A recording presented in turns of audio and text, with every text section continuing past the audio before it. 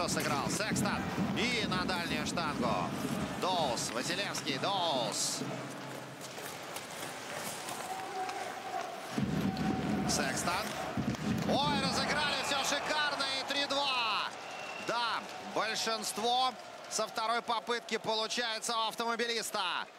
Разыграли бросок касания. И опять надо будет сейчас авангарду бежать, отыгрываться.